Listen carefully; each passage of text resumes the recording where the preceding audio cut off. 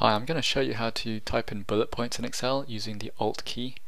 It's very simple, very fast. All you do is hold down the Alt key and press a number, say 7, let go, and there's a bullet point.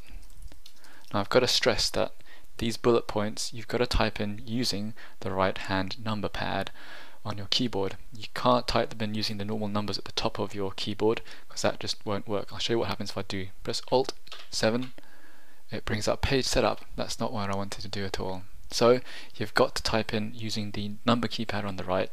I'll do Alt 7 again. The bullet point comes out, then I can type. Now you can also change this. Instead of having just a round bullet point, you could use Alt 16 for a right hand arrow. Or you could even use Alt 13 and put in a musical symbol